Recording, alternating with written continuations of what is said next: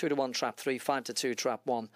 Bigger prices the rest. Here comes the bunny at Bellevue, Woody Bill 2, and they're off and away. Uh, one on the inside just from 3 and 5, then 4, 2 and 6 as they race to the first bend. Uh, one reaches it ahead of the others. One leading from 3, then 5. All the odd numbers holding sway, and down the far side.